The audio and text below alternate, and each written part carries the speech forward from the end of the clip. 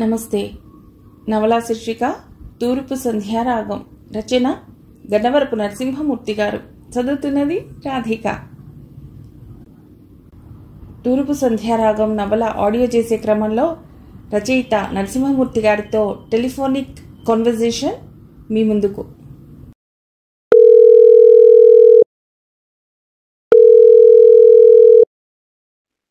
Hello. Sir నమస్తే sir నేను రాధిక. చెప్పండి మేడం. సార్ ఇది నేను తూర్పు సంధ్యారాగం మీ నవలని ప్రజెంట్ చేద్దాం అనుకుంటున్నాను సార్ మీ పర్మిషన్ కావాలి. తప్పకుండా మేడం అలాగే చదవండి ప్రాబ్లం ఏం లేదు. అయితే నాకు ఈ నవల గురించి కొన్ని డీటెయిల్స్ కావాలండి. అంటే ఈ నవలని. నేను సంగీత పరంగా రాయదలుచుకున్నాను అనమాట సంగీతం మీద అంటే సంగీ సా- సంగీత సాహిత్య సమలంకృతి అంటారు కదా. అంటే సాహిత్యం మనం రాస్తున్నాం అంటే దానికి సంగీతం అంతర్లీనంగా ఉంటుందనే భావనతో సంగీతం గురించి చాలా మంది రాశారు. పూర్వం కాలంలోని చాలా మంది కానీ సంగీతం సబ్జెక్ట్గా ఒక విదుషి ఇప్పుడు శంకరాభరణం ఉందనుకోండి. శంకరాభరణంలో అతను ఒక వాగ్గేయకారుడి కథ అది. వాగ్గేయకారుడి జీవితంలో సంఘటన అలాంటిదే ఇది ఒక విదుషుమణి. సంగీత నాయకురా కథానాయకురాలు గురించి ఈ ఈ- నవల రాయబడి దీనిలో ఎన్నో సంఘటన అలాగే కేవలం సంగీతం గురించి కాదు సంగీతం గురించి చెబుతూనే ఆమె జీవితంలో జరిగే ఎన్నో పారిశ్రాలని ఆ, ఆమెకి జరిగే జరిగే సంఘటనలు విపులీకరించడం జరిగింది ఈ నవల్లో అనేది. కాబట్టి అందులో దీనిలో దీంతో పాటు సాహిత్యంలో కూడా ముఖ్యంగా మనకి పోతన పద్యాలు మహాభారతంలోని పద్యాలు మన అలసాని పెద్దన పద్యాలు ఇవన్నీ కూడా అంతర్లీనంగా మొదటి రెండు మూడు చాప్టర్లో ఇవ్వడం జరిగింది. అంటే అట్లీస్ట్ మన కొత్త తరం పాఠకులకి పద్యాలు అంటే ఏంటి సాహిత్యం అంటే ఏంటి తెలుస్తుందని రాయడం జరిగింది అది. ఓకే ఇది ఏదైనా పత్రికలో వచ్చిందా అండి? ఆ, ఇది పాలపేట మాసపత్రికలో సీరియల్గా వచ్చింది మేడం ఇది. పాలపేట అంటే మీకు తెలుసు కదా ప్రముఖ సాహిత్య మాసపత్రిక హైదరాబాద్లో వస్తుంది ఆయన ఎడిటర్ గుడిపాటి వెంకటేశ్వర గారు. అందులోనే వచ్చింది. అందులో ఏ సంవత్సరంలో సార్? ఇది రెండు వేల ఇరవై రెండులో వచ్చింది మేడం. Okay okay. అంటే ఇది మరి పత్రిక వాళ్ళ మా పత్రిక వాళ్ళకి ఇచ్చినప్పుడు ఆ పత్రిక వాళ్ళ ప్రశంసలు కానీ విమర్శలు కానీ ఏమైనా ఉన్నాయా సార్?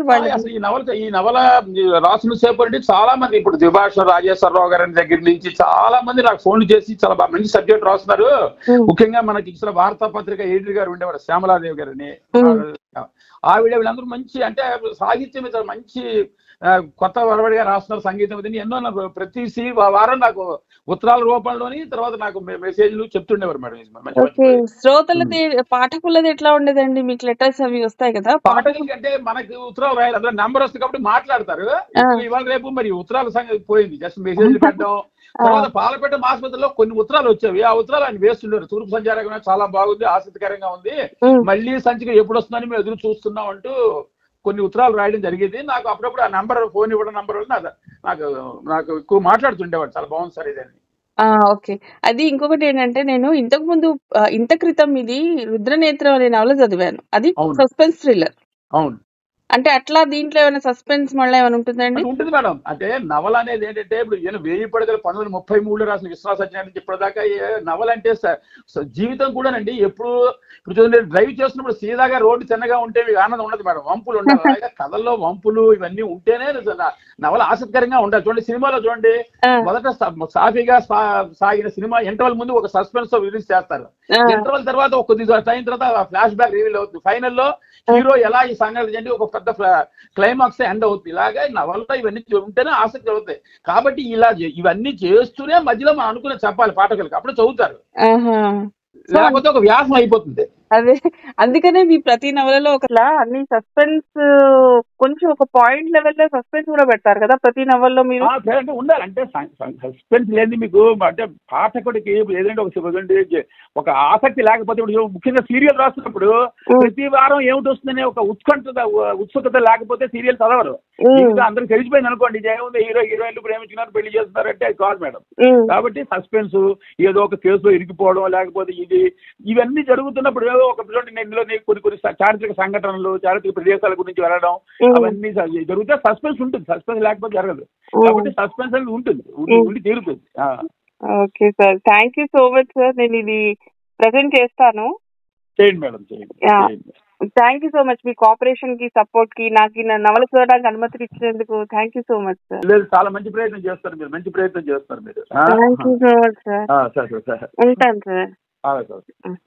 ఇక కథలోకి వెడదామా కౌసల్యపురం రోడ్ హాల్ట్. అదొక చిన్న రైల్వే స్టేషన్. ప్యాసింజర్ వచ్చే సమయం. శంకరం కార్ స్టేషన్ ముందు ఆగింది ఆ ప్యాసింజర్లో అతడి స్నేహితుడు రఘునాథ్ వస్తున్నాడు. టైం చూసుకున్నాడు. ఇంకా రైలు రావడానికి పది నిమిషాల సమయం ఉంది. అప్పుడే మొదటి బెల్ కొట్టారు. హేమంతం కావటంతో ఏడు గంటలైనా మంచు తెరలు తొలగలేదు. నిహారికా బిందు సందోహాలు పచ్చగడ్డి గరికలపై దర్శనం ఇస్తున్నాయి కొద్ది కొద్దిగా జనం వస్తున్నారు. రఘునాథ్ అతడు చిన్నప్పుడు కౌశల్యపురంలో చదువుకున్నారు. రఘునాథ్ విజయనగరం దగ్గర ఓ పల్లెలోని జిల్లా పరిషత్ హై స్కూల్లో టీచర్గా చేస్తున్నాడు. ఇంతలో రెండో బెల్లు కొట్టడం రైలు వస్తున్న చప్పుడు. కార్కి తాళం వేసి ప్లాట్ఫామ్ మీదకు వచ్చాడు. రైలు ప్లాట్ఫామ్ మీద ఆగింది. స్లీపర్ కోచ్లోంచి రఘునాథ్ దిగాడు. కొద్దిసేపటికి శంకరం రఘునాథ్ని చేరుకున్నాడు. శంకరం అంటూ రఘునాథ్ పరుగున వచ్చి శంకరాన్ని కౌగులించుకున్నాడు చాలా రోజులైందిరా నిన్ను చూసి. రోజు నువ్వు గుర్తుకు రాని క్షణం ఉండదనుకో. నా భార్యకు నీ గురించి చెబుతూ ఉంటాను. ఏమైనా పదవ తరగతి దాకానే జీవితం రా. చాలా అందమైనది. కల్మషం లేని మనుషులు. అసూయ ద్వేషాలు ఎరగని బాల్యం. నీ గుర్తుందో లేదో మనం ఐదో తరగతి తెలుగు వాచకంలో తిలగ్గేయం రోజు చదువుతుండేవాళ్ళం అది నాకు ఇంకా గుర్తు అన్నాడు రఘునాథ్. పద వెడుతూ మాట్లాడుకుందాం అంటూ కారు వైపు నడిచాడు శంకరం. ప్రభాత సమయం కావడంతో బయట వాతావరణం నిర్మలంగా ఉంది. నీలిమేఘం తెలిమంచు తెరలు నలుదిక్కులా వ్యాపించి ఉన్నాయి.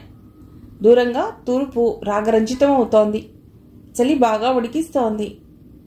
శంకరం చుట్టూ మంచు చూస్తుంటే నాకు అప్పటి మనం ఎనిమిదో తరగతి తెలుగు వాచకంలోని నన్నయ్య గారి పద్యం గుర్తుకొస్తున్నది.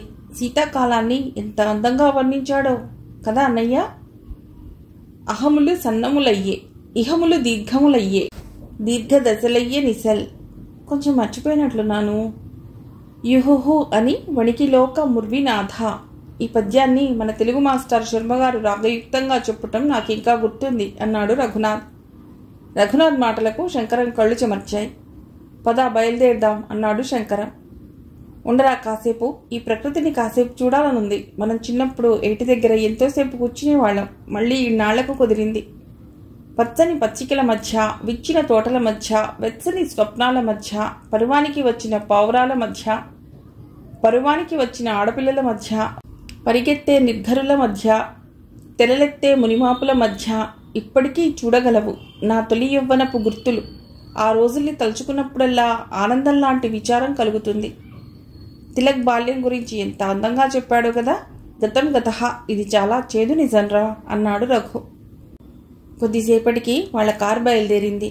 కారు రోడ్డు మీద దూసుకుపోతోంది. శంకరం నువ్వు అమెరికా వెళ్ళలేదా? నువ్వు అక్కడికి వెళ్ళిపోయావని ఇన్నాళ్ళు రాలేదు.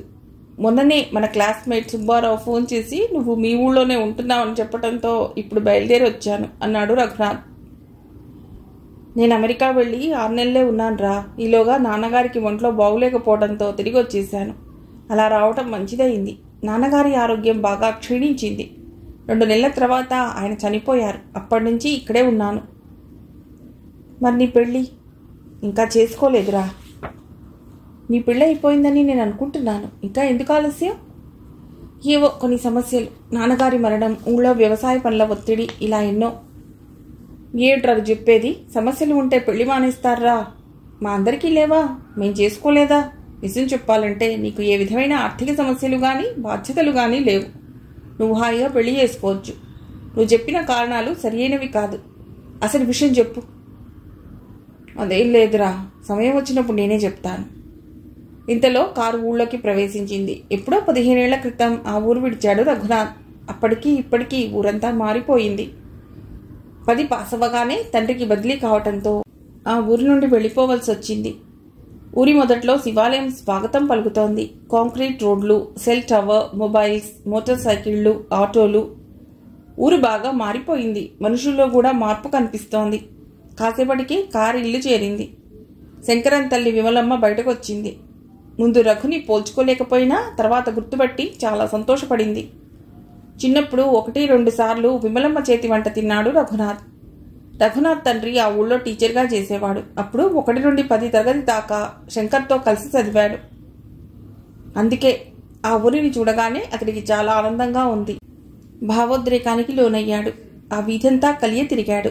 తమకు స్కూల్లో తెలుగు పాఠాలు ఇంటి దగ్గర సంగీతం నేర్పించే రామేశ్వర శాస్త్రి మాస్టర్ ఇల్లు చూశాడు. శంకర మాస్టర్ గారు బాగున్నారా ఆముక్తమాలిది ఇప్పుడు ఎక్కడుంది మాధవ్ ఏం చేస్తున్నాడు? అని అడిగాడు. రఘునాథ్ డాబా ఎక్కుతూ. చిన్నప్పుడు ఆ డాబా మీదే ఎన్నో ఆటలు ఆడేవారు పరీక్షలప్పుడు రాత్రిపూట బల్బు పెట్టుకుని చదువుకునేవారు. అప్పుడప్పుడు వెన్నెట్లో కొబ్బరాకుల మధ్యలోంచి పడే వెన్నెల కిరణాల వెలుగులో ఎన్నో ఊసులు చెప్పుకునేవారు ఆ తర్వాత పెరట్లోకి వెళ్ళాడు. పెరడంతా ఇప్పుడు ఓ వనంలా ఉంది. బోలెడు వృక్షాలు కూరగాయల పాదులు. ఒకప్పుడు నుయ్యి ఉండేది. దాని స్థానంలో ఇప్పుడు బోర్వెల్. రఘు చుట్టమైందా? రా కాఫీ తాగుదు గాని. అమ్మ పిలుస్తోంది అంటూ శంకరం పిలవటంతో రఘునాథ్ ఇంట్లోకి వెళ్ళాడు విమలమ్మ అతనికి పెద్ద గ్లాస్తో కాఫీ ఇచ్చింది. చాలా రుచిగా ఉంది. కాఫీ తాగుతుంటే చిన్ననాటి రోజులు గుర్తుకొచ్చాయి. రుచిలో ఏమాత్రం మార్పు లేదు. ఆ రాత్రి భోజనాల తర్వాత ఇద్దరు డాబా మీదకి వచ్చారు శంకరం ఈ చల్లని వెన్నెలని చూస్తుంటే గతం గుర్తుకొస్తోందిరా. మనం ఇరవై ఏళ్ళ క్రితం ఈ వెన్నెల్లోనే ఆడుకునేవాళ్ళం గుర్తుందా? అని అడిగాడు రఘునాథ్. అవునరా ఆ బాల్యం ఇక రాదు. అవి మరపురాని మధుర జ్ఞాపకాలు. అది సరే నీ గురించి చెప్పు. ఎక్కడున్నావు? పెళ్ళి పిల్లలు? విజయనగరం దగ్గర ఒక పల్లె భగీరథపురం. జిల్లా పరిషత్ హై స్కూల్లో పనిచేస్తున్నాను. ఒక్కడే పిల్లవాడు ఐదేళ్ళు. మొన్ననే స్కూల్లో జాయిన్ చేశాను. భార్య మధుమిత. నాన్నగారు పోయారు. అమ్మ నా దగ్గరే ఉంది. సెలవులు వచ్చాయి. నువ్వు ఇక్కడ ఉన్నావని తెలిసి నిన్ను చూడటానికి వచ్చాను. ఇంకా చెప్పాలంటే ఈ ఊరిని రామేశ్వర శాస్త్రి మాస్టర్ని చూడటానికి వచ్చాను. చాలా సంతోషం రా. ఆ మాస్టర్ని ఇలా మర్చిపోతాను చెప్పు. ఇవాళ మనం ఇలా బాగా చదువుకున్నామంటే ఆయనే కారణం. సర్లే పడుకో. తెల్లవారక ముందే గుడికి వెడదాం అన్నాడు శంకరం. ప్రత్యూషపు వేళ. తూర్పు వాహిని వేగావతి తీరం. చల్లటి మలయమార్తం వీస్తోంది. దూరంగా ఏటివడ్డున శివాలయంలోంచి భగవద్గీత వినిపిస్తోంది. దుఃఖేశ్వరు విఘ్నమన సుఖేషు విగత స్పృహ. వీతరాగ భయక్రోధ విగతే దునిర్ముచ్యతే.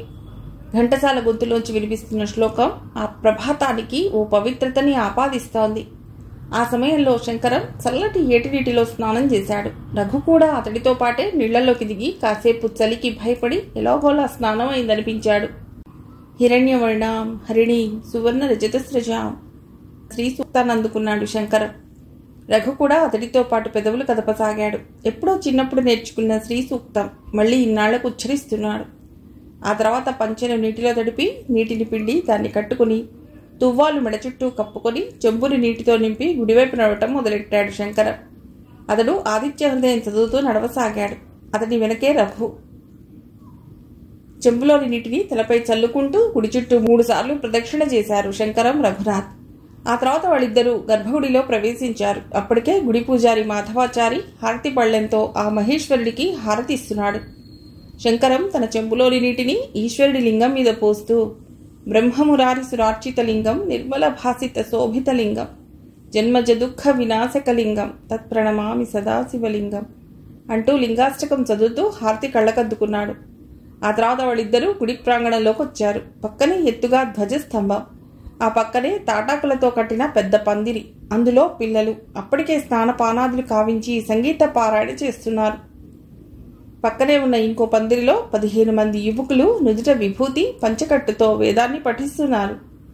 అందులో ఒక కుర్రవాడు విరాట పర్వాన్ని పారాయణ చేస్తున్నాడు. శంకరం ఏమిటిదంతా? ఈ గుడి మనం చదువుకున్నప్పుడున్నట్టు లేదు. ఎవరు కట్టించారు దీన్ని? చాలా పవిత్రంగా ఉంది ఇక్కడ. అందున ఏటి ఒడ్డు శివుడికి ఇష్టమైన ప్రదేశం. నేనే కట్టించానురా. అమెరికా వెళ్ళకూడదని నిర్ణయించుకున్నాక ఊళ్ళో ఒక ఆధ్యాత్మిక కేంద్రం ఉండాలని ఈ గుడి కట్టించాను. ఉదయం సాయంత్రం ఊళ్ళో వాళ్ళు ఇక్కడికి వస్తూ ఉంటారు. ఈ ప్రాంగణంలోనే పెళ్ళిళ్ళు పొడుగులు వ్రతాలు అన్నీ చేసుకుంటూ ఉంటారు. కార్తీక మాసంలో ఇంకా బాగుంటుంది. కార్తీక దీపాలు ఏట్లో వదిలి ఇక్కడికొచ్చి కార్తీక పురాణం చదువుకుంటూ ఉంటారు. పౌష్య మాసంలో గుడిలో ముగ్గులేస్తారు. ఈ మధ్యనే ఈ ప్రాంగణంలోనే రామాలయం కూడా కట్టించాను. శివరాత్రి ఉత్సవాలు ఇక్కడ బాగా జరుగుతాయి. అప్పుడు హరికథలు నెల పొడవునా చెప్పబడతాయి అన్నాడు శంకర. ఒరేయ్ అద్భుతమైన పని చేశావురా. అమెరికా వెళ్ళిన వారు తిరిగి రారంటారు. అలాంటిది నువ్వు ఇక్కడికి వచ్చి ఈ ఊరి కోసం గొప్ప పనులు చేయటం చూస్తే ఆనందంతో పాటు విస్మయం కలుగుతోంది. కళ్ళు తుడుచుకుంటూ అన్నాడు రఘు. నీకు సంగీతం అంటే బాగా ఇష్టం కదా? పదా పిల్లలు మంచి గీతలను పాడతారు. విందువు గాని అంటూ రఘుని ఆ పందిరి వైపు తీసుకెళ్ళాడు శంకరం. అక్కడ ఇద్దరు పిల్లలు వాయులీనం వాయిస్తున్నారు. ఇంకొక పక్క ఇద్దరు అమ్మాయిలు వీణని శృతి చేస్తున్నారు. మరో ఇద్దరు పిల్లలు త్యాగరాయ కృతిని ఆలపిస్తున్నారు. వరవీణ మృదుపాణి వనరోహలోచను రాణి అన్న కీర్తన పాడారు. భాను ఇదే రాగమో తెలుసా? శంకరమామని అడిగాడు. తెలుసు మాస్టారు ఇది మోహన రాగం. దీని ఆరోహణ అవరోహణలు చెప్పు. ఆమె చకచక వాటిని చెప్పింది. మరి సప్తస్వరాలు గుర్తున్నాయా? వాటి సంపూర్ణ అర్థాలు? సరిగమ పదని. షడ్జమం ఋషభం గాంధారం మందరం పంచమం దైవతం నిషాదం. ఆమె తడుముకోకుండా చెప్పింది. ఆ తర్వాత పక్కనే పురాణం చదువుతున్న కుర్రవాడి దగ్గరికి వెళ్ళారు. ఈ అబ్బాయి పేరు తిరుమలాచారి. మన గుడి పూజారి మాధవాచారి కొడుకు. ఇతడి రోజు విరాట పర్వం చదువుతున్నాడు. రఘుతో చెప్పాడు శంకరం. ఆ అబ్బాయి తిక్కన పద్యాలను అలవోకగా చదువుతుండడం రఘుని ఆకర్షించింది. అంత చిన్నవాడు కఠినమైన పదాలను చాలా సులభంగా పలకటం అతడి వాచకం యొక్క గొప్పతనాన్ని తెలియజేస్తోంది. ఇంత చిన్నపిల్లల చేత విరాట పర్వ పారాయణం ఏమిట్రా? వాళ్ళు వయసుకే పిల్లలు. వాచకంలో గొప్పవాళ్ళు. ఒకసారి వాడి వాచకం విను. తిరుమల విరాట పర్వంలోని ఓ రెండు పద్యాలు చెప్పు అన్నాడు శంకరం. కుర్రవాడు గొంతు సవరించుకుని పద్యం అందుకున్నాడు. కాంచనమయ వేదిక కనత్కేతనోజ్వల విభ్రమము వాడు కలసజుండు అంటూ ఆ కుర్రవాడు రాగంతో కూడిన ఆ పద్యం విని రఘు మురిసిపోయాడు. తిరుమల ఏనుగినెక్కి ఒకసారి చదువు. అన్నాడు శంకరం. ఆ అబ్బాయి ఇంకో పద్యం అందుకున్నాడు. చాలా బ్రహ్మాండంగా ఉందిరా ఈ కుర్రవాడి వాచకం అన్నాడు రఘు. వేదమైన పురాణాలైన సంగీతమైన పిల్లల నోటి నుండి వింటేనే చెవులకు ఇంపు. వాళ్ళ కంఠంలో శ్రావ్యత ఉంటుంది. ఇక విరాట పర్వ పారాయణం ఊళ్ళో వర్షాలు కురవాలని. మొన్నటి నుంచి రైతులు వర్షాలు లేక వరి నాట్లు ఎండిపోతున్నాయని చెప్తే ఈరోజు విరాట పర్వం చదివించడం మొదలెట్టించాను. ఈ కుర్రవాడి చదువులో కూడా గొప్ప చురుకు. ఏడో తరగతిలో జిల్లాకి ప్రథముడిగా వచ్చాడు. పురాణాలు వాడికి కొట్టిన పిండి. విరాట పర్వంలో ఉత్తర గోగ్రహణంలో అర్జునుడు గోవుల్ని విడిపించుకుని తీసుకువెళ్ళే సమయంలో వర్షం బోరున కురుస్తుందని ఊరి వీళ్ళ నమ్మకం. వాళ్ళ నమ్మకాన్ని మనం ఎందుకు కాదనాలి? ఇది ప్రతి సంవత్సరం జరుగుతున్నదే అన్నాడు శంకరం. వీళ్ళకు పురాణాలు వేదాలు కూడా నేర్పుతున్నారా? రఘునాథ్ అడిగాడు. కొందరి కుర్రవాళ్ళకి నేర్పుతున్నాం. అలా నేర్పించకపోతే ఈ తరం పిల్లలు వాటిని మర్చిపోయి ప్రమాదం ఉంది అంటూ రాఘవ ఇలారా? అని ఒక కుర్రవాడిని పిలిచాడు. ఆ కుర్రవాడు పుస్తకాలను పక్కన పెట్టొచ్చాడు. ఈ కుర్రవాడు రాఘవ వీళ్ళ నాన్నగారు పక్క ఊరి స్కూల్లో తెలుగు మాస్టారు. నన్నయ్య భట్టు ఎన్ని పర్వాలు అనువదించాడో చెప్పు అని అడిగాడు. ఆది సభా పర్వాలు అరణ్య పర్వంలో సగం అనువదించాడని చెప్పాడు. నన్నయ్య భట్టు రాసిన ఆఖరి పద్యాన్ని చెప్పు. శంకరం అడుగుతుండగానే అతడు పద్యాన్ని అందుకున్నాడు. చాలా బాగా పాడావు. అది సరే ఆరంభించురు నీచ మానవులు పద్యాన్ని ఎవరు రాశారు? శంకరం అబ్బాయిని మళ్ళీ అడిగాడు. ఏనుగు లక్ష్మణ కవి. భర్తృహరి సుభాషితాలకి అనువాదం. అంటూనే ఆరంభించరు నీచ మానవులు అంటూ కుర్రవాడు పద్యాన్ని అందుకున్నాడు. భేష్ సూపర్ అన్నాడు రఘునాథ్. అలాగే పెద్దన మనుచరిత్రలోని అటు జనిగాంచి చెప్పు. అన్నాడు శంకరం. అబ్బా ఇది గొప్ప పద్యం రా. చిన్నప్పుడు దీన్ని చదవటానికి మనం ఎన్నో ఇబ్బందులు పడేవాళ్ళం అన్నాడు నవ్వుతూ రఘు. అటు జనిగాంచే అంటూ మొదలెట్టాడు ఆ కుర్రవాడు. రాగయుక్తంగా పాడాడు. అద్భుతం నాకు చాలా ఆనందంగా ఉందిరా అన్నాడు రఘు. ఇంకొక పద్యం ఈసారి పోతనది. అడిగిదనని చెప్పరా అన్నాడు శంకరం. అతడు మొదలెట్టాడు. అద్భుతమైన వాచకం అన్నాడు రఘు. సరే ఇక నువ్వు వెళ్ళు అని వాడితో చెప్పగానే ఆ కుర్రవాడు వెళ్ళిపోయాడు. శంకరం నువ్వు చాలా గొప్ప పని చేస్తున్నావు. ఈ కంప్యూటర్లు మొబైల్ ఫోన్ల కాలంలో పద్యాలు పురాణాలు సంగీతం వేదం శివాలయం రామాలయం కీర్తనలు చూస్తుంటే నాకు చాలా ఆశ్చర్యం కలుగుతోంది. అన్నాడు రఘు. తప్పదురా. ఆరేళ్ళ క్రితం ఇక్కడికి వచ్చినప్పుడు నాకు ఈ గ్రామాన్ని చూస్తే ఆశ్చర్యం కలిగింది. మనం చిన్నప్పుడు పెరిగిన గ్రామంలా లేదు. ఊరంతా మారిపోయింది. ఇంగ్లీష్ చదువుల పిచ్చి పట్టుకుంది. అందరూ కాన్వెంట్ల చదువు కోసం పిల్లల్ని ఆటోల్లో పక్కపట్టణానికి పంపించడం నన్ను కలిచివేసింది. ఊళ్ళో సారా కళ్ళు తాగడం ఎక్కువైంది. గవర్నమెంట్ ఏకంగా సారాయి దుకాణాన్నే తెరిచింది. గుటక ఖైనీల వాడకం పెరిగిపోయింది. ఇవన్నీ తాగి తింటే యువత ఏమవుతుందో చెప్పు. అందుకే నేను అమెరికా వెళ్ళటం మానుకున్నాను ఈ ఊరిని ఈ సమస్యల నుండి బయటకు తీసుకురావాలని అనుకున్నాను. దానికి రెండు సంవత్సరాలు పట్టింది. నా డబ్బు కూడా చాలా ఖర్చయింది. కొందరు పిల్లలకు మొదట్లో నేనే ట్యూషన్ చెప్పాను. ఆడపిల్లలకు సంగీతం మొదలెట్టాను. దానికి మన రామేశ్వర శాస్త్రి మాస్టారు గారు చాలా సాయం చేశారు. ప్రజలు చెడిపోకుండా ఉండాలంటే కొద్దిగా ఆధ్యాత్మికత వైపు మళ్ళించాలని గుడిని కట్టి హరికథలు పురాణ ప్రవచనాలు పెట్టించడం మొదలెట్టడంతో సంవత్సరం తిరిగేసరికి వాళ్ళలో మార్పు వచ్చింది. దీనికి ముఖ్య కారణం మన స్త్రీలు. వాళ్ళ వల్లే మార్పు సాధ్యమైంది. ఇవన్నీ చేయటానికి బోలెడు డబ్బు కావాలి కదరా. మా తాతల ఆస్తి యాభై ఎకరాల పొలం బంగారం కూడా ఉంది. అది నేను వ్యవసాయం మీద మదుపు పెట్టాను. పొలాలకు బోరింగ్లు వేయించాను. రైతులను పెట్టాను. పైప్ లైన్లు వేసి అన్ని మళ్ళకు నీరు చేరేటట్లు వేశాను. పక్క ఊరి కాలువ నుండి మన చెరువుకు చిన్న కాలువలు మంజూరు చేయించడంతో ఇప్పుడు రిజర్వాయర్ నీరు మన చెరువులకు అందుతోంది. పూర్వంలా ఇప్పుడు పంటలు ఎండిపోవటం లేదు సరికదా? రెండు పంటలు పుష్కలంగా పండుతున్నాయి. చెరకు కూడా బాగా పండుతోంది. బస్సులు వస్తున్నాయి. ఆటోలు చెప్పనక్కర్లేదు. ఇప్పుడు ఇక్కడ పట్నం కంటే ఆనందంగా ఉంది. సర్లే పద బాగా ఎండెక్కింది. అమ్మ మన కోసం చూస్తూ ఉంటుంది అంటూ ఊరి వైపున నడిచాడు శంకరం. మర్నాడు ఉదయాన్నే ఇద్దరు రామేశ్వర శాస్త్రి గారింటికి వెళ్ళారు అప్పటికి మాస్టారు పిల్లలకు సంగీతం నేర్పుతున్నారు. త్రివర్గ ఫలదాస్ సర్వేదాన యజ్ఞ జపాదయ ఏకం సంగీతం విజ్ఞానం చతుర్వర్గ ఫలప్రదం దీని అర్థం ఏంటంటే దాన యజ్ఞ జపాలు ధర్మ అర్థ కామములనే పురుషార్థములను ప్రసాదిస్తే కేవలం సంగీతం మాత్రమే మోక్షాన్ని కూడా ప్రసాదిస్తుంది అని మాస్టారు వారికి వివరిస్తున్నారు. ఆ శ్లోకం వినగానే రఘుకి ఒక్కసారిగా బాల్యం గుర్తుకొచ్చింది. ఇదే శ్లోకం మాస్టర్ తమకెన్నోసార్లు చెప్పడం అతడికి అలలు అలలుగా గుర్తుకు రాసాగింది. మాస్టార్కి వయస్సు పెద్దదై శారీరకంగా మార్పు వచ్చింది కానీ గొంతులో ఏ విధమైన మార్పు లేదు.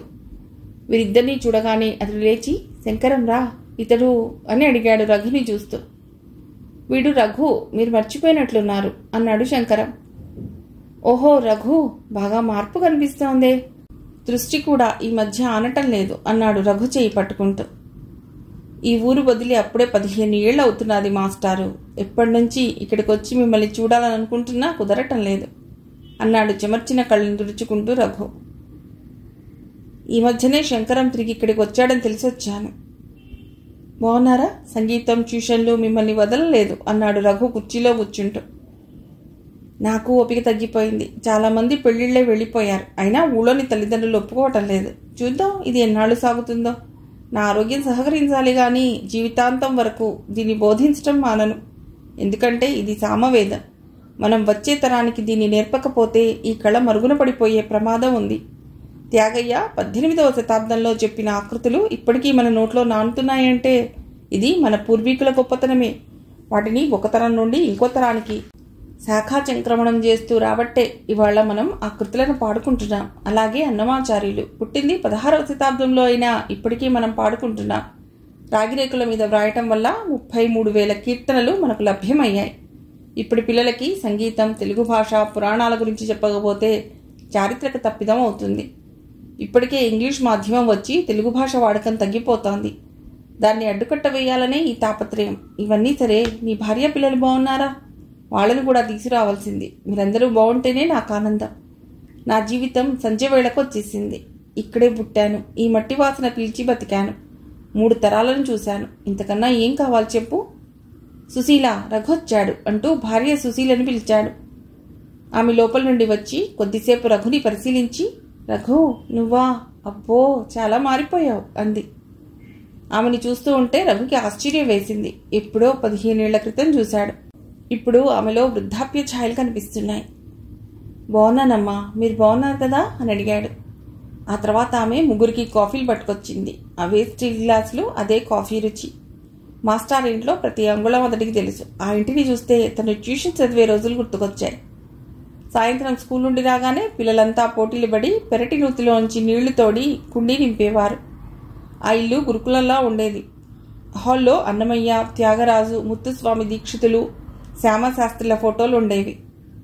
అవి సుమారు యాభై సంవత్సరాల క్రితం ఫోటోలు. ఇప్పటికీ అవి అలాగే ఉన్నాయి. వాటిని చూస్తూ చాలాసేపు మౌనం దాల్చాడు. ఆ నలుపు తెలుపు ఫోటోలు చూస్తుంటే అతడికి బాల్యం గుర్తుకొచ్చింది. అవును ఇప్పటి కాలం రంగులమయం. అప్పుడంతా నలుపు తెలుపులే. ఇప్పుడు అన్ని కలర్ ఫోటోలు. ఇప్పుడు కెమెరాలు కూడా లేవు. అంతా సెల్ ఫోన్లే. కానీ బాల్యంలో అప్పుడు ఫోటో అంటే గొప్ప. ఆ బ్లాక్ అండ్ వైట్ ఫోటో ఎంతో అందంగా కనిపించేది. ఎవరైనా కెమెరా తెస్తే దాన్ని చూడటానికి ఎగబడేవాళ్ళు. ఈ బ్లాక్ అండ్ వైట్ నలుపు తెలుపు ఫోటోలు వందేళ్ళ చరిత్రకు ఆనవాళ్ళు. కాలం ఎంతటి మార్పు తెస్తోంది? ఒకప్పుడు సినిమాలకు పది కిలోమీటర్లు నడిచి వెళ్ళేవాళ్ళం ఇప్పుడు బెడ్రూమ్లోనే చూస్తున్నాం. అయినా అప్పటి ఉత్సాహం లేదు. అప్పుడు ప్రతిరోజు పన్నెండు గంటలకి వచ్చే మధుమంజరిలో ఘంటసాల సుశీల పాటల కోసం రోజూ ఎదురు చూసేవాళ్ళం ప్రతి ఆదివారం వచ్చే సంక్షిప్త శబ్ద చిత్రం కోసం అమ్మలంతా ఎదురు చూసేవారు అతడు అలా ఆలోచనలోకి జారుకోవడం చూసి శంకరం ఒరే రఘు ఏమిటా పరధ్యానం? అనడంతో అతడు ఉలిక్కిపడి ఏం లేదురా ఈ ఫోటోలు మాస్టర్ ఇల్లు మన ఊరిని చూస్తుంటే నాకు మన బాల్యం బాగా గుర్తుకొస్తోంది. ఎంత గొప్పవిరా ఆ రోజులు. అవి తలుచుకున్నప్పుడల్లా నాకు కళ్ళ నీళ్ళు తిరుగుతుంటాయి. అలాంటి రోజులు మళ్ళీ వస్తాయిట్రా? ఇప్పుడు మనం ముప్పైలోకి ప్రవేశించాం. కానీ ఈ కాలంతో మనం పొడి పడలేకపోతున్నాం అన్నాడు చెమర్చిన కళ్ళను తుడుచుకుంటూ. సర్లేరా ప్రతి వాళ్ళ జీవితంలో ఈ సమస్య తప్పదు. పద భోజనాల సమయం. అమ్మ మన కోసం ఎదురు చూస్తూ ఉంటుంది అన్నాడు శంకరం లేచి నిలబడుతూ. శంకరం ఎలాగో రఘు చాలా రోజుల తర్వాత వచ్చాడు. ఈరోజు మీ ఇద్దరు ఇక్కడే భోజనం చేయకూడదు. మీ అమ్మకి నేను కబురు పెడతాలే. మా ఇంట్లో భోజనం అంటే మీ అమ్మ కాదనదు అన్నారు మాస్టారు. శంకరం కొంచెంసేపు ఆలోచించి అలాగే మాస్టారు ఇక్కడే తింటా అనడంతో రఘుకి కూడా ఆనందం కలిగింది. మాస్టారు ఆ ముక్త ఇప్పుడు ఎక్కడుంది? ఇప్పుడు అది హైదరాబాద్లో ఉంది. దాని పెళ్ళి తర్వాత చాలా ఇబ్బందులు పడ్డాం. అల్లుడు మమ్మల్ని చాలా బాధలు పెట్టాడు. ఆముక్త భర్తతో విడాకులు తీసుకుంది. కానీ దేవుడిలా శంకరం దాని జీవితాన్ని చక్కదిద్దాడు. అందరి జీవితాలు బాగుండాలని కోరుకునే శంకరం జీవితం ఒడిదుడుకులకు లోను కావటం బాధాకరమైన విషయం. వాడు బయటికి నవ్వుతూ ఉన్నా వాడి లోపల అగ్నిపర్వతం ఉంది అన్నారు శాస్త్రి గారు. అతని మాటలు రఘుకి అర్థం కాక శంకరం వైపు చూశాడు. శంకరం మౌనంగా పెరట్లోకి వెళ్ళి నూతి దగ్గర కాళ్ళు చేతులు కడుక్కుని వచ్చాడు. రఘు కూడా అతన్ని అనుసరించాడు. మాస్టారి భార్య జానకమ్మ వాళ్ళకి భోజనాలు అరటి ఆకుల్లో వడ్డించింది. రఘుకి ఆ వంటల వాసన ముక్కుపుటాలకు సోకుతూ ఆకలి పుట్టిస్తోంది. వంకాయ మెంతికూర దోసకాయ పప్పు మజ్జిగ పులుసు టమాటో పచ్చడి ఆవకాయ పెరుగు చాలా రోజులైంది రఘు అటువంటి భోజనం తిని. శంకర మౌనంగా తింటుంటే రఘు కూడా మౌనం దాల్చి భోజనాన్ని ముగించాడు. భోజనం తర్వాత మాస్టారు సాయంత్రం గుడిలో త్యాగరాయ కృతులు పిల్లలు ఆలపిస్తారు. వీలుంటే మీరు కూడా రండి అన్నాడు శంకరం. ఆ తర్వాత ఇద్దరు ఇంటికి వచ్చేశారు సంధ్యా సమయం. గుడి ఆవరణలో ఉన్న సభాస్థలి. ఏ పండుగ పర్వాలొచ్చినా అక్కడే పురాణ పఠనాలు హరికథలు సంగీత కచేరీలు జరుగుతుంటాయి ఆ రోజు నుంచి ధనుర్మాసం ప్రారంభమవుతోంది. అందుకని బాలల సంగీత కచేరీని గుడి ప్రాంగణంలో ఏర్పాటు చేశాడు శంకరం. రామేశ్వర శాస్త్రి పెద్దవాడైపోయిన తర్వాత ఊళ్ళో సంగీతం నేర్పేవాళ్ళే కరువయ్యారు. శంకరం అతడి దగ్గర చాలా వరకు సంగీతాన్ని నేర్చుకున్నాడు. కానీ తర్వాత ఇంజనీరింగ్ చదువు అమెరికా వెళ్ళిపోవడంతో సంగీతం గురించి పట్టించుకునేవారు లేకుండా పోయారు. అటువంటి సమయంలో శంకరం మళ్ళీ అమెరికా నుండి తిరిగి వచ్చాడు ఆరు నెలలు ఇంటి సమస్యల కోసం పట్టింది. ఆ తర్వాత సంగీతం నేర్పడం మొదలెట్టాడు. నేర్చుకున్న పిల్లలు ఆ రోజు మొదటిసారిగా కచేరీ చేయబోతున్నారు. అందుకే గుడి ప్రాంగణంలో దేవుడి సమక్షంలో వేదిక ఏర్పాటు చేశారు. కార్యక్రమాన్ని ప్రారంభిస్తూ శంకరం ప్రారంభోపన్యాసం మొదలెట్టాడు. సభాయ నమః. ఒక విధంగా ఇది నాదని రాజనం. అన్నమయ్య త్యాగయ్య రామదాసు వీళ్ళంతా తమ పదార్చనలతోనే దేవుణ్ణి పూజించారు. వాళ్ళ కృతులు పాటలు ఇలా ఏవైనా ప్రజల్లోకి వెళ్ళాయంటే కారణం వాళ్ళు తమ భక్తిని గీతాల రూపంలో సంగీతం మేళవించి పాటలుగా కృతులుగా మలచి విష్ణువుని శివుని పూజించారు. సంగీత జ్ఞానము భక్తి వినా అన్నాడు త్యాగయ్య. అలాగే అన్నమయ్య పదాలు. అదివో అల్లదివో శ్రీ హరివాసము పదివేల శేషుల పడగలమయము ఇలా ఇవన్నీ సంగీత రాగాలతో కూర్చి ఆలపించారు. అందుకే వందల సంవత్సరాలైనా ఇప్పటికీ వీటిని పాడుతున్నాం. నేను ఐదు సంవత్సరాల నుంచి ఈ సంగీతాన్ని వీళ్ళకి నేర్పుతున్నాను. ధనుర్మాసం ఈ నెల రోజులు చాలా పవిత్రమైనవి. ఈ నెల రోజులు మన గుడిలో ఆ దేవుడి మీద సాయంత్రం పూట భక్తుల కోసం కార్యక్రమాలు నిర్వహిస్తాం. ఒకరోజు హరికథ ఇంకో రోజు కచేరీ పురాణ పఠనం లలిత సంగీతం ఇలాగన్నమాట. అందుకు మొదటి రోజు నాడు మొదటిసారిగా మన చిన్నారులు ఆ విష్ణువుకు తమ గళాలతో భక్తి గీతాలను కృతులను అర్పిస్తారు. కాబట్టి ఆహుతులంతా ఆస్వాదించి చిన్నారులను ఆశీర్వదించాలి. చాలామందికి సంగీతం నేర్చుకుంటే పిల్లలు చదువుకి దూరమై పాడైపోతారు అన్న భ్రమ ఉంది. నిజంగా అది భ్రమే. నేను చిన్నప్పటి నుండి రామేశ్వర శాస్త్రి గారి దగ్గర సంగీతం నేర్చుకున్నాను. అయినా చదువుని విడనాడలేదు. పదవ తరగతిలో జిల్లాకి ప్రథముడిగా ఇంటర్లో రాష్ట్రంలో పదో ర్యాంక్ సాధించాను. తర్వాత ఇంజనీరింగ్ చదివాను. కాబట్టి నేను చెప్పేది ఏమిటంటే సంగీతంతో మంచి క్రమశిక్షణ అలవడుతుంది. చదువు పట్ల సరైన అవగాహన కలుగుతుంది. పెద్దల ఈడ గౌరవం పెరుగుతుంది. అందుకే శిశుర్వేత్తి పశుర్వేత్తి వేత్తిగాన రసం ఫడిహి అని పెద్దలు సంగీతాన్ని కీర్తించారు. నారదుడు తన తుంబురనాదంతో ప్రతిరోజు నారాయణుడిని కీర్తించినట్లు మనం పురాణాల్లో చదువుకున్నాం. మన చదువుల తల్లి సరస్వతి ఆ వాగ్దేవికి సంగీతం అంటే ప్రాణం. అందుకు ఆమె చేతిలోని కచ్చొప్పి వీణే నిదర్శనం. అటువంటి తల్లి దీవెనలు మన పిల్లల మీద ఉండాలంటే సంగీతం తప్పనిసరి. ఈరోజు ఈ పిల్లలు మొదటి సంగీత గీతాలాపాన్ని ఆ విష్ణుపాద సమీపంలో ప్రారంభించబోతున్నారు. మీరంతా నిండు మనస్సుతో ఆశీర్వదించి దీవించండి. ఈ రోజున ప్రారంభిస్తున్న ఈ చిన్ని సంగీత ప్రదోహం అనతి కాలంలోనే మారి ఆ నారాయణుడిని అభిషేకించాలని కోరుతూ చివరగా ఏకం సంగీతం విజ్ఞానం చతుర్వర్గ ఫలప్రదం అంటూ తన ఉపన్యాసాన్ని ముగించాడు శంకర. అనంతరం ఆ ప్రాంగణమంతా చప్పట్లతో మారుమోగిపోయింది. ఆ తర్వాత మైక్ దగ్గరకు మళ్ళా వచ్చి ఇప్పుడు రఘు అనే నా స్నేహితుడు మన పిల్లలను ఉద్దేశించి నాలుగు మాటలు చెప్తాడు. అతడు కూడా ఈ ఊర్లో నాతో పాటే చదివాడు. వాళ్ళ నాన్నగారు ఈ ఊర్లోని మన స్కూల్లోనే టీచర్గా పనిచేశారు అని రఘుని మైక్ దగ్గరకు రావాల్సిందిగా పిలిచాడు. సభకు నమస్కారం. ఊరి పెద్దలకు ఈ సభలో పాల్గొన్న చిన్నారులకు అందరికీ నా శుభాకాంక్షలు. ప్రతి ఊరికి గుడి అన్నది ఓ సాంస్కృతిక కేంద్రం. భక్తితో దేవుని కొలుద్దామని వచ్చిన భక్తులకు గుడి ఆనందంతో పాటు భక్తి పార్వత్యాన్ని కలిగజేయాలి.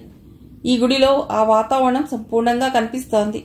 ఈరోజు ఈ చిన్నారులు చాలా అదృష్టవంతులు. తమ సంగీత అరంగేట్రాన్ని పవిత్రమైన దేవుడి ముంగిట చేయటం చాలా అదృష్టమని చెప్పాలి. వీడు నేర్చుకున్నది కర్ణాటక సంగీతం. అది మన దక్షిణాది సంగీత శైలి. అలాగే హిందుస్థానీ సంగీతం ఉత్తర భారతదేశ శైలి. కానీ రెండింటిలోనూ గాత్ర సంగీతానికి ఎక్కువ ప్రాధాన్యత ఉంటుంది. ఈ కర్ణాటక సంగీతంలో దేవతలకు సంబంధించిన మూలాలు ఉన్నాయి. ఈ సంగీతాన్ని నాదబ్రహ్మకు చిహ్నంగా భావిస్తారు. ప్రకృతిలోని జంతువుల పక్షుల స్వరాలను నిశిత పరిశీలన ద్వారా అనుకరించడం ద్వారానే స్వరాలు ఏర్పడ్డాయని వేదాలు చెబుతున్నాయి. వైదిక యజ్ఞాలలో ఋగ్వేద సామవేద మంత్రాలలో ఉచ్చరింపబడే కొన్ని సంగీత స్వరాలు భారతీయ శాస్త్రీయ సంగీతానికి మూలాలుగా చెప్పవచ్చు. వీణ సంగీతానికి పక్కవాయిద్యమని యజుర్వేదంలో చెప్పబడింది. రామాయణ భారతాల్లో కూడా సంగీతానికి సంబంధించిన ప్రస్తావనలు ఉన్నాయని మనకు తెలుసు. యాజ్ఞవల్క్య స్మృతిలో తాళశృతి పరిజ్ఞానం కలిగిన వీణావాదకుడు నిస్సందేహంగా మోక్ష మార్గాన్ని పొందుతాడని చెప్పబడింది. అటువంటి గొప్ప సంగీతాన్ని నేర్చుకున్న ఈ బాలలందరూ చాలా అదృష్టవంతులని చెప్పవచ్చు. అందున శంకరం లాంటి గొప్ప సంగీత కళాకారుడి దగ్గర విద్యను అభ్యసించడం అంటే అంతకన్నా గొప్ప వరం ఇంకొకటి ఉండదు. కేవలం సంగీతం అంటే ఏదో వేల ప్రజల మధ్య స్టేజీ మీద కీర్తనలు పాటలు పాడటం కాదు. అదొక దైవ పూజ. ఇది మధ్యలో ఆగిపోకూడదు. ఉరకలెత్తే గంగాఝరిలా ఉప్పొంగుతూ సాగిపోవాలి అని తన ప్రసంగాన్ని ముగించాడు రఘు. ఆ తర్వాత పిల్లల సంగీత విభావరి ప్రారంభమైంది. ముందుగా వాతాపి గణపతిం భజే అంటూ విఘ్నేశ్వరుడి స్తోత్రంతో మొదలెట్టి ఆ తర్వాత పంచరత్న కీర్తనల్లో జగదానందకారక సాధించేనే మనస్స ఆ తర్వాత ఎందరో మహానుభావులు అందరికీ వందనములు అన్న కీర్తనలను శృతి అనే పిల్ల పాడింది. పిదప అన్నమాచార్యుల వారి కీర్తనలు భావయామి గోపాల బాలం అని అద్భుతంగా పాడారు. మొత్తానికి రఘు చాలా రోజుల తర్వాత మంచి సంగీతాన్ని విని ఆనందించాడు. మరో రెండు గంటల తర్వాత ఆ నాద నీరాజనం ముగిసింది. ఆ రోజు రాత్రి భోజనాల తర్వాత శంకరం రఘు డాబా మీద వచ్చారు. చాలా రోజుల తర్వాత వెన్నెల్ని చూశాడు రఘు. ఆ రోజు పౌర్ణమి. పున్నమి వెన్నెల కిరణాలు కొబ్బరాకు సందుల్లోంచి పడుతుంటే ఆ శరత్చంద్రిక మయూఖలను ఆనందంతో ఆస్వాదించసాగాడు. శంకరం ఎంత గొప్పగా ఉందిరా ఈ వెన్నెల? నీ గుర్తుందో లేదో? మనం చిన్నప్పుడు వెన్నెల పోకలు ఆడేవాళ్ళం. వెన్నెట్లో కళ్ళకు గంతలు కట్టి వస్తువులను పోల్చడం ఎంత అందమైన ఆటో కదా? బాల్యం అంత అందంగా ఆనందంగా ఉంటుందని. ఆ తర్వాత అది మన దరిదాపుల్లోకి రాదని ఆ తర్వాత అన్ని భవసాగరాలేనని మనకు తెలిస్తే ఆ బాల్యాన్ని ఇంకా బాగా ఆనందించే వాళ్ళమేమో అప్పుడైతే ఎంత వేగంగా పెద్దవాళ్ళమై కాలేజీలకు వెడదామని అనుకునేవాళ్ళం. కానీ అది ఎంత తప్పో ఇప్పుడు తెలుస్తోంది. దేవుడు వచ్చి ఏదైనా కోరిక కోరుకో అంటే నేను బాల్యాన్ని తిరిగివ్వమని కోరతాను అన్నాడు భావోద్వేగంతో. రఘు నిజమేరా నేను కూడా రోజు నీలాగే ఆలోచిస్తుంటాను. ఎంత గొప్ప బాల్యమో. కల్మషం లేనిది. ఈరోజు గుడిలో సంగీత నీరాజనంలో కృతులు ఆలపిస్తున్న పిల్లల్ని చూస్తుంటే నాకు అసూయ కలిగింది. మళ్ళీ మనకు తిరిగి రానిది ఆ అందమైన బాల్యం అన్నాడు శంకరం. నిర్మలమైన నీలాకాశంలో తెల్లటి చంద్రబింబం మెరుస్తూ కనిపిస్తోంది. శంకరం నేను వచ్చి అప్పుడే ఐదు రోజులైందిరా. అక్కడ పిల్లవాడు నా కోసం కలవరిస్తున్నాడని నా శ్రీమతి చెప్తోంది. నాకైతే ఇక్కడ ఎన్ని రోజులైనా ఉండాలనుంది. నువ్వున్న ఈ ఊళ్ళోనే ఇల్లు కట్టుకుని రోజు నీతో కబుర్లు చెప్పుకుంటూ బతికేయాలనుంది. నాకు నీ జీవితం బాగా నచ్చింది. హాయిగా సొంత ఊళ్ళో ఉంటూ వ్యవసాయాన్ని చేసుకుంటున్నావు. అమ్మని కనిపెట్టుకుని ఉంటున్నావు. పిల్లలకు విద్య సంగీతాలు నేర్పుతున్నావు. ఊరిని అభివృద్ధి చేస్తున్నావు. ఒక్క పెళ్ళి విషయంలోనే వెనుకబడి ఉన్నావు. ఆ పప్పన్నం కూడా మాకు త్వరగా పెట్టిచ్చేస్తే నీ జీవితం పరిపూర్ణం అవుతుంది అన్నాడు రఘు. పెళ్ళికి ఇంకా సమయం ఉందిరా అదెప్పుడో నేను చెప్పలేను అన్నాడు నవ్వుతూ శంకరం. ఏదైనా కారణం ఉందా? లేకపోతే ఇంతకన్నా సరైన సమయం ఉండదు. మీ అమ్మకి అరవై దాటిపోయాయి. ఇప్పుడు కోడలొస్తే హాయిగా మనవలతో జీవితాన్ని ఆనందంగా గడుపుతుంది. ఆ విషయం ఆలోచించు.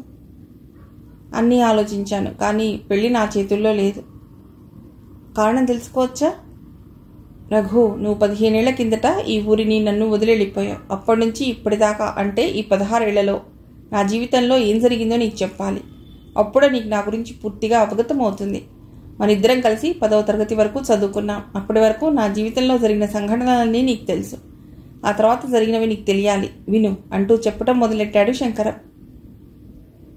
పదవ తరగతిలో ఫస్ట్ క్లాస్లో పాస్ కాగానే ఎంతో సంతోషించాను. కానీ అదే రోజు నువ్వు నా దగ్గరకు వచ్చి మీ నాన్నగారికి విజయనగరం దగ్గర ఒక పల్లెకి బదిలీ అయిందని అందుకే వెళ్ళిపోతున్నామని చెప్పడంతో అంతవరకు పదో తరగతి ఫస్ట్ క్లాస్లో పాస్ అయిన ఆనందం కాస్త ఆవిరయింది నేను ఒకటో తరగతిలో ఉన్నప్పుడు అనుకుంటాను మీ కుటుంబం మా ఊరొచ్చింది. అప్పటి నుంచి ఇద్దరం కలిసి చదువుకున్నాం. ఎక్కడ చూసినా మన ఇద్దరమే రోజూ కలిసే స్కూల్కి వెళ్ళేవాళ్ళం. కలిసే ట్యూషన్కి సంగీతం నేర్చుకునేందుకు వెళ్ళేవాళ్ళం. అటువంటి నువ్వు నన్ను విడిచి వెళ్ళిపోతుంటే నాకు చాలా బాధేసింది. ఒరేయ్ మీ నాన్నగారికి చెప్పి ట్రాన్స్ఫర్ ఆపించుకుంటే మన ఇద్దరం హాయిగా కలిసి ఇంటర్ చదువుకోవచ్చు కదరా అన్నాను. కానీ నువ్వు సాయంత్రం వచ్చి అలా కుదరదు వెళ్ళి తీరవలసిందే అని చెప్పడంతో ఆ రోజు రాత్రి నాకు నిద్ర పట్టలేదు.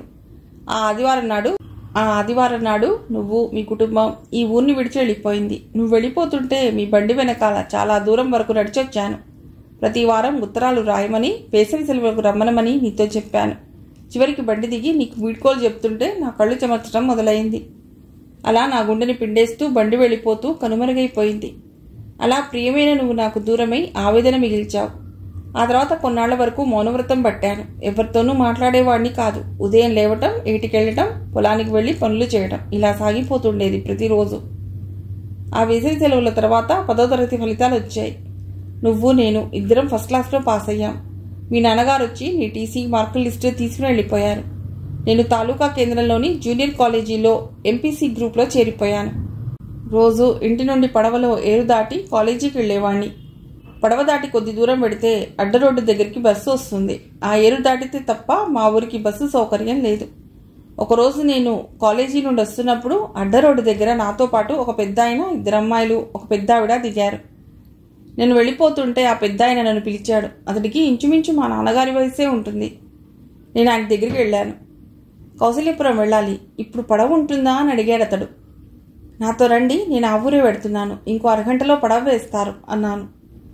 అక్కడికి ఏటి ఒడ్డు అర కిలోమీటర్ ఉంటుంది. వాళ్ళు చాలా సామానుతో దిగారు. ఆ ఇద్దరిలో ఒక అమ్మాయి పెద్దది తెల్లగా పొడవైన జడతో చాలా అందంగా ఉంది. ఆమె కొన్ని సామాన్లు పట్టుకుని బయలుదేరింది. సామాన్లు ఎక్కువగా ఉండటంతో నేను కూడా రెండు పెట్టెలు పట్టుకున్నాను. ఓ అరగంటలో మేమంతా ఏటి ఒడ్డుకి చేరుకున్నాం. సార్ మీరెవరింటికి? అని అడిగాను ఆ పెద్దాయన్ని. మాది ఈ ఊరే. ఈ ఊరిని వదిలి చాలా రోజుల క్రితం విశాఖపట్నం జిల్లాకు వెళ్ళిపోయాను. ఇప్పుడు మళ్ళీ ఈ ఊరికి బదిలీ అయ్యాను. ఈ ఊరి స్కూల్లో రేపు టీచర్గా జాయిన్ అవుతాను అన్నాడు ఆయన. నమస్కారం మాస్టారు అన్నాను చేతులు జోడించి. నమస్కారం నువ్వెవరబ్బాయివి? అని అడిగాడు. నేను వెంకట్రావు గారి అబ్బాయిని. పట్నంలో ఇంటర్ చదువుతున్నాను అని చెప్పాను.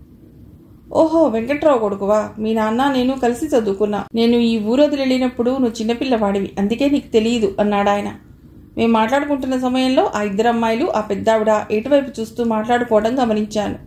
మేము మాట్లాడుకుంటుండగానే దూరం నుంచి పడవ వస్తూ కనిపించింది. ఏటి తీరం కాబట్టి చల్లని గాలి వీస్తోంది. పడవ ఏటి ఒడ్డుకి రాగానే నేను ఆ పడవ దగ్గరికి వెళ్ళి దాన్ని నడిపే రాములతో మన ఊరికి కొత్త మాస్టర్ గారు కుటుంబంతో వచ్చారు. కొద్దిసేపు ఉంటే సామాన్లను ఎక్కిస్తాం అని చెప్పి పది నిమిషాల్లో సామాన్లన్నీ పడవలోకి ఎక్కించాను మాటల మధ్యలో ఆమె పేరు మధులిక అని తెలుసుకోగలిగాను. ఆ తర్వాత వాడు తెరచాపని సరిచేసి తెడ్డుతో పడవని ముందుకు నడపసాగాడు. ఎప్పుడూ పడవలో ప్రయాణం చేసి ఉండకపోవటం వల్లనో ఏమో ఆ ఇద్దరు అమ్మాయిలు ఏట్లో నీటిని దోసళ్ళతో పట్టుకోవడం కాళ్ళు ఏట్లో పెట్టడం వంటివి చేయడాన్ని గమనించాను. సంధ్యా సమయం కావటంతో పడబడి సంధ్య సింధూర వర్ణంలోకి మారిపోతోంది. సంధ్య కిరణాలు ఏటిపై పడి మెరుస్తున్నాయి. అరగంట తర్వాత పడవ ఒడ్డుకు చేరింది. అందరం పడవ దిగిన తర్వాత నేను మా రైతుతో బండి తెమ్మనమని చెప్పాను. పావుగంట తర్వాత బండిలో సామాన్ ఎక్కించుకుని ఊళ్ళోకి బయలుదేరాను. మాస్టర్ గారిల్లు మా వీధిలోనే ఉంది. చాలా రోజులుగా ఆ ఇల్లు తాళం వేసి ఉంది. రెండు రోజుల పాటు ఆ ఇంటిని బాగు చేసి దాంట్లో దిగారు. మాస్టర్ పేరు రామశర్మ నాన్నగారికి స్నేహితుడు. ఆ మర్నాడతడు మా ఊరి స్కూల్లో సైన్స్ టీచర్గా జాయిన్ అయ్యారు. అతడు సైన్స్ లెక్కలు బాగా చెప్తాడన్న విషయం తెలుసుకుని చాలామంది ఆయన దగ్గరికి ట్యూషన్కి వెళ్ళడం మొదలెట్టారు. దానికి తోడు ఆయన సంగీతంలో బాగా దిట్ట. చాలామంది అమ్మాయిలు సంగీతం నేర్చుకోవడం మొదలెట్టారు. నేను కాలేజీలో ఇంటర్లో చేరిన తర్వాత దసరా సెలవులప్పుడు మా ఊరు వచ్చాను ఒకరోజు నేను పొలం నుండి వస్తుండగా శర్మ మాస్టారి గారింట్లో సంగీతం నేర్చుకుంటున్న పిల్లలు కనిపించారు సరిగమ పదని అంటూ పలుకుతున్న అమ్మాయిలు అబ్బాయిలు మధ్యలో ఆ రోజు రేవులో కనిపించిన మాస్టారి గారి అమ్మాయి కనిపించారు. ఆ సమయంలో నాకు కూడా సంగీతాన్ని నేర్చుకోవాలనిపించింది. ప్రతిరోజు నేను కాలేజీ నుండి ఐదు గంటలకే వచ్చేస్తాను. శని ఆదివారాలు సెలవులు. కాబట్టి నేర్చుకునేందుకు సమయం సరిపోతుంది. అదే విషయాన్ని ఆ రాత్రి భోజనాలప్పుడు మా అమ్మని అడిగాను. సంగీతం చిన్నప్పుడు నేర్చుకుంటే బాగుంటుంది కానీ ఇప్పుడు సంగీతం నేర్చుకోవడం ఏమిట్రా? అంది. కానీ నేను మొండిగా నేర్చుకుంటానని చెప్పడంతో మీ నాన్నగారిని అడుగు అని చెప్పింది. చదువు పాడవకుండా నేర్చుకుంటే నాకేం అభ్యంతరం లేదు అని నాన్నగారు చెప్పడంతో మర్నాడే మాస్టారి గారింటికి వెళ్ళాను. మాస్టర్ నన్ను చూసి మొదట ఆశ్చర్యపోయారు. ఇంటర్ వాళ్ళకి సంగీతం కష్టం అని చెప్పారు. చిన్నప్పటి నుంచి అయితే సంగీతం త్వరగా వస్తుందని వయసు పెరుగుతున్న కొద్దీ కష్టం అవుతుందని చెప్పాడు. ఆ మర్నాడు ఆదివారం ఉదయాన్నే ఏటికెళ్ళి స్నానం చేసి గుడికెళ్ళి ప్రార్థన చేసి మాస్టర్ ఇంటికి వెళ్ళాను. పదవ తరగతి దాకా మనం రామేశ్వరం శాస్త్రి గారి దగ్గరికి ట్యూషన్కి వెళ్ళేవాళ్ళం. కానీ ఇప్పుడు సంగీతం నేర్చుకోవడం అంటే కొత్తగా ఉంది. మొదటి రోజు నాడు శర్మ మాస్టర్ నాకు సంగీతం గురించి చాలా విషయాలు అన్యాపదేశంగా చెప్పారు. ఆ సమయంలో మధులిక పిల్లలకి వర్ణాలు నేర్పసాగింది. కర్ణాటక సంగీతానికి మూలం స్వర రాగ తాళాలు. మొదట్లో మన దేశం అంతటా ఒకే రాగం సంగీతం ఉండేది. కానీ పద్నాలుగో శతాబ్దం నుండి కర్ణాటక హిందుస్థానీ సంగీతాలుగా విడిపోయాయి. స్వాతంత్రానంతరం కర్ణాటక సంగీతం మన దక్షిణాదిలో బాగా ప్రాచుర్యం పొందింది. సంగీత వాంగ్మయానికి ఆది గ్రంథంగా నాలుగో శతాబ్దంలో భరతముని రాసిన నాట్యశాస్త్రముని చెప్పవచ్చు. తర్వాత పదమూడవ శతాబ్దంలో శ్రీరంగదేవుని సంగీత రత్నాకరం కూడా మనకు ప్రమాణ గ్రంథమే. అలాగే విద్యారణ్యుడు. ఈయన సంస్కృత వాంగ్మయం గురించి పెక్కు శాస్త్రములను గ్రంథములను రాశాడు.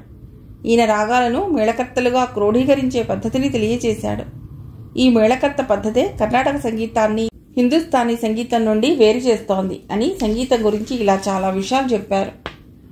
మాస్టారు నేను చిన్నప్పటి నుండి శృతి లయ స్వరం ఇలా సంగీతంలో చాలా పదాలు విన్నాను. వాటి గురించి చెప్పరా? అని అడిగాను. చెబుతాను. నువ్వు మంచి ప్రశ్నే అడిగావు. శృతి అంటే ధ్వని విశేషం. గీతానికి పనికి వచ్చే శృతులు ఇరవై రెండు. అవి సిద్ధ ప్రభావతి కాంత సుప్రభశిఖ దీప్తిమతి ఉగ్ర హళది నివ్రి ధీర క్షాంతి విభూతి మాలని చపల. ఈ ఇరవై రెండు శృతులతోనే సంగీతం ఉచ్చస్థితికి చేరుకుంటుంది. ఉచ్చస్థితి అంటే అష్టమ స్వరం అన్నమాట. శృతి సంగీతంలో స్థాయిని సూచిస్తుంది. అలాగే సంగీతంలో సరిగమ పదని అని సప్తస్వరాలు ఉంటాయి. అవి షడ్జమం రిషభ గాంధార మధ్యమ పంచమ దైవత నిషాదాలు.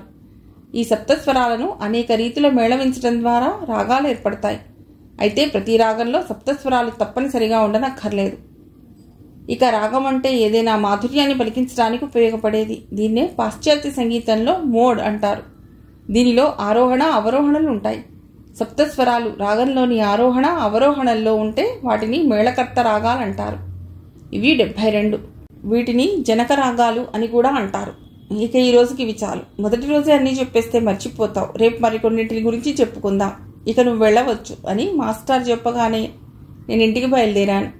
అప్పటికి మధులిక కూడా పిల్లలకు సంగీతం నేర్పడం ముగించి ఇంట్లోకి వెళ్ళిపోయింది. ఆ మర్నాటి నుండి ప్రతిరోజు సాయంత్రం పూట నేను శర్మ మాస్టారు గారింటికి వెళ్ళేవాణ్ణి. మొదట్లో వర్ణాలు మొదలు పెట్టించారు ఆ తర్వాత మాస్టారు కాకుండా మధులికే మాకు చెప్పేది. ఒకరోజు నేను మధులికను మీరేం చదువుతున్నారు? అని అడిగాను. పది. మొన్ననే ఫస్ట్ క్లాస్లో పాస్ అయ్యాను. ఇంటర్లో చేరాలి. మీరు ఎక్కడ చదువుతున్నారు? అని అడిగింది. నేను నా కాలేజీ పేరు చెప్పగానే తాను కూడా అక్కడే చేరాలి. కాలేజీకి వెడితే ఒక అప్లికేషన్ తెమ్మని చెప్పింది. నేను రెండు రోజుల తర్వాత మా కాలేజీకి వెళ్ళాను. అప్పుడు ఆమెకి అప్లికేషన్ తెచ్చాను. ఆ మర్నాడే ఆమె నింపి నా చేతికి ఇచ్చింది నేను రాను రాను మాస్టర్ ఇంటికి ఏం కావాలో తెస్తూ తెస్తూ అతడికి దగ్గరయ్యాను. నేను ఎక్కువగా పక్కనే ఉన్న పట్టణం వెళ్తూ ఉండటం వల్ల కావలసిన మందులు వస్తువులు నా చేత తెప్పించుకునేవారు. ఒకరోజు మధులికను ఆ ఇంట్లో ఉన్న పెద్దావిడని గురించి అడిగాను. ఆమె మా మేనత్త మా అమ్మ చనిపోయి ఐదేళ్ళయింది. నీరజ ఆమె కూతురు. ఎనిమిది చదువుతోంది అని చెప్పింది. అప్పటికి నేను సంగీతం నేర్చుకోవటం మొదలెట్టి నెల రోజులయ్యింది. ఇంకో పది రోజుల్లో కాలేజీలు తెరుస్తారు. కాబట్టి ఈ పది రోజులు రెండు పూటలా సాధన చేస్తానని మాస్టార్తో చెప్తే ఆయన సరేనని అన్నారు. ఒక ఆదివారం మాస్టారు నా సంగీతం ఎంతవరకు వచ్చిందో అడిగి తెలుసుకున్నారు. ఆ రోజు మళ్ళీ అతన్ని కొన్ని సందేహాలు అడిగాను. మాస్టారు ఆ రోజు రాగాలంటే ఏమిటో అని ఎన్నో చెప్పారు. మరి తాళం అంటే ఏమిటి? అని అడిగాను.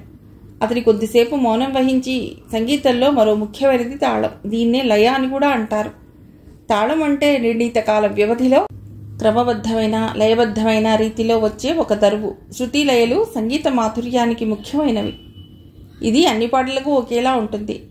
కర్ణాటక సంగీత కళాకారులు తమ చేతులను వేళ్ళను పైకి కిందకు ఆడించడం ద్వారా దీన్ని అనుసరిస్తారు. హిందుస్థానీ సంగీతంలో తాళాన్ని పలికించడానికి తబలా ఉపయోగిస్తారు.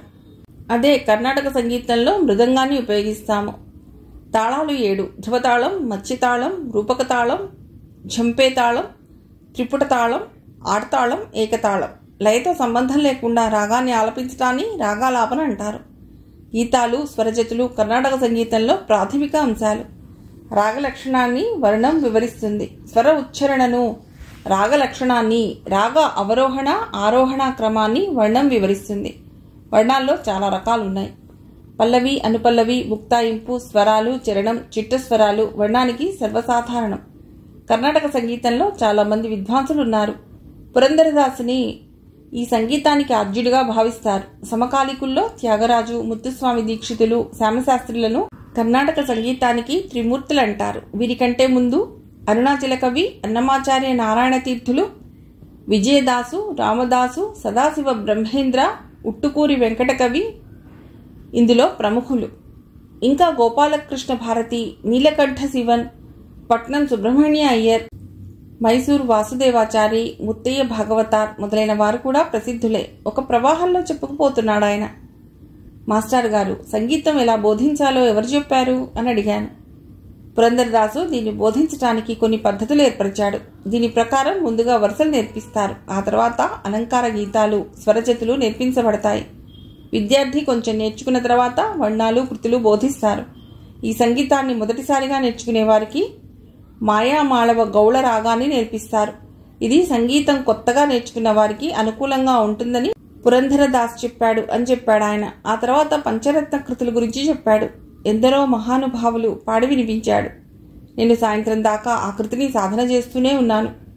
అలా రెండు నెలలు సంగీత సాధనలో మునిగిపోయాను. చాలా వరకు నాకు మధులికే సంగీతాన్ని నేర్పించింది.